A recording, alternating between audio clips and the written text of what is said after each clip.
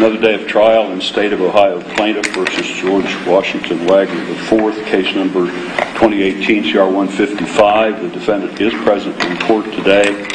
He is with his attorneys, John uh, Parker and Richard Nash. The state of Ohio is represented by the prosecuting attorney, Rob Junk, and by special prosecuting attorneys, Angela Canepa and Andrew Wilson. Also present is Ryan Scheiderer uh, of Ohio BCI and I. Uh, a couple of matters that uh, the court uh, has mentioned to counsel, but felt best to put them on the record here. They're non-jury issues uh, at this point.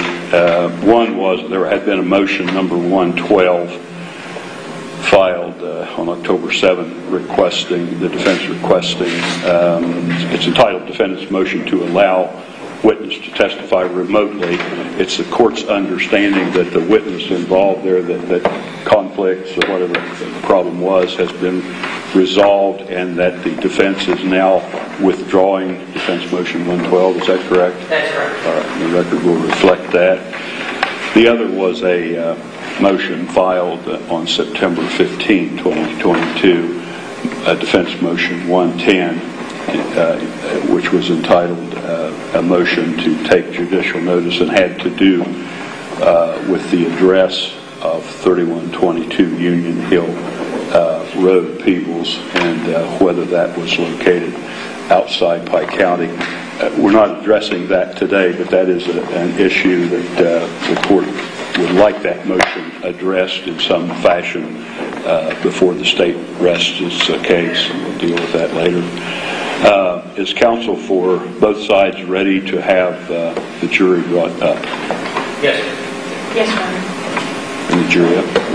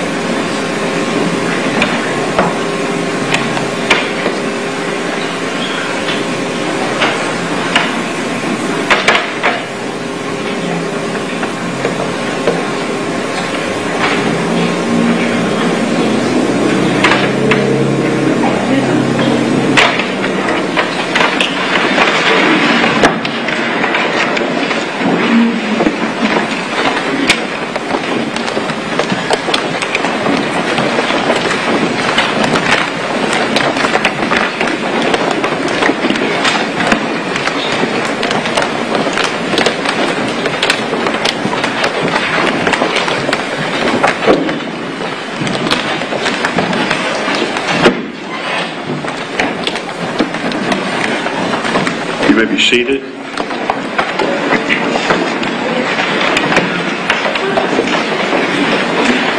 Good morning, ladies and gentlemen of the jury. It's good to see all of you here.